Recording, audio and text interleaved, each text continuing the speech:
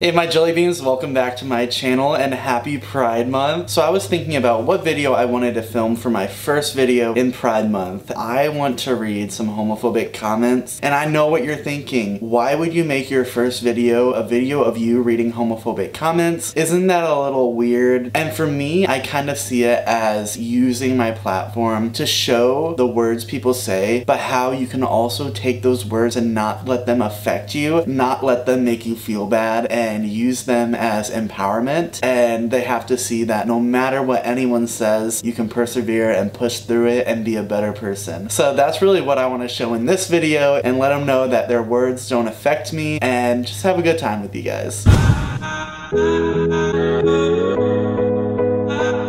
So today I want to sit down and read some homophobic comments. I get it, this isn't the most Pride Month video that I could do, but I have a lot of other videos planned for this month, so this is just one of those that I gotta do because I thought it would be fun. But if you're not subscribed to my channel, be sure to hit the- and I. What the heck was that? But if you're not subscribed to my channel, be sure to hit the subscribe button and join the Jelly Bean Squad. I do make a lot of videos about my sexuality and my life, so if that's something you're into, be sure to subscribe. But it's Pride Month, you guys. I'm so happy. This month is gonna be really good, and you know, my goal for this month is to hit 5,000 subscribers. I know that's a pretty big goal, and I'm not 100% sure if we're gonna hit it, but if we manifest it, we're gonna make it happen. We're just gonna have a good time with this channel, and hopefully make as many new friends as possible, help each other out and really grow this community. But you know, just to start out, we're gonna read some of these comments and uh, Daddy, chill. That's gonna be our video today. So the first comment is, the man in this video has serious, legitimate mental health issues. I just think that that's so funny that someone can come on my channel, spend five minutes or less watching a video, and then diagnose me with mental health issues and say that I need help. Who are you? What are you doing on my channel? Personally, I don't get offended with that because I do have mental health issues. Why would you say that? No, I'm not even gonna say that that. Personally, I really don't get offended with this because it doesn't matter, but I just think it's funny how someone will hop on someone's channel and then say something like this. Who are you? What are you talking about? One of my favorites, okay,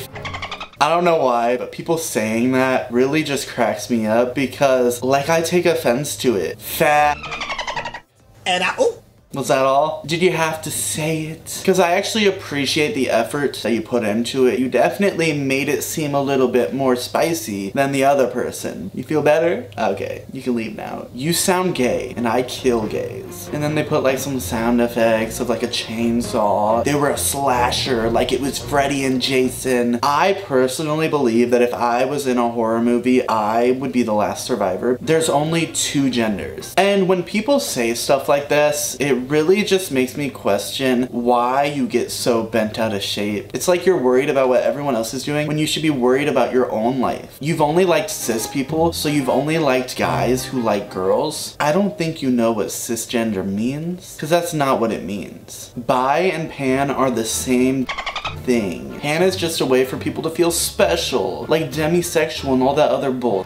Straight, gay, bi, and ace are all there is. You either like women, men, neither, or both. That's all. Again, I'll say this, why does it matter? You say you're straight, you say you're bi, you say you're gay, you say you're pan, whatever. I personally don't care what anyone identifies as, so why should you? Why do you care so much? You guys are always the first to say, I don't care what anyone does, as long as you don't affect me. But then you want to say, you're affecting me by saying that. That doesn't make sense. Either play by your rules rules or don't, but find a way to make it make sense. But I just wanted to read some of these to start out our Pride Month. You just gotta be yourself, and if you're being yourself, nothing can bring you down. But I wanna thank you guys for coming back every single week and joining us. We are gonna make this an amazing Pride Month. I have a lot of videos planned for you guys, so I really do appreciate you guys coming out here and supporting me. But see you guys next time and have an amazing Pride Month, and as always, stay fruity, my jelly beans.